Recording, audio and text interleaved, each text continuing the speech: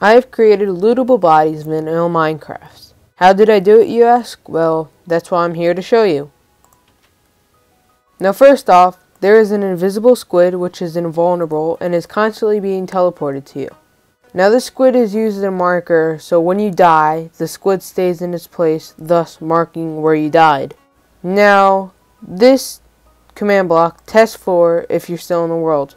If you died, this command block turns off, inverting this torch, which activates this line of command blocks. So first off, what it basically does is it summons a invisible skeleton, which is invulnerable, and has gold armor and a wooden sword equipped. So after it summons a skeleton, and it is teleported to the squid which marked you death, it will activate an execute command which will summon a creeper with a fuse of 1 and explosion radius of 0. So basically, when you get near, it will instantly explode, causing no damage whatsoever, and is also invisible.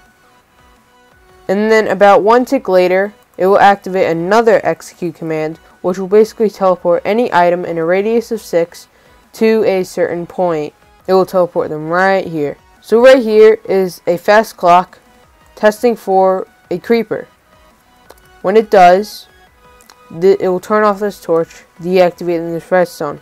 When the creeper explodes, however, this will turn off, activate, activating this redstone. About one tick, it will kill the skeleton, and it will say, you have looted a body. And this command block right here teleports any item in this box to the skeleton. If you enjoyed this and my other videos, I wouldn't mind if you rate, comment, or even subscribe. And thanks for watching.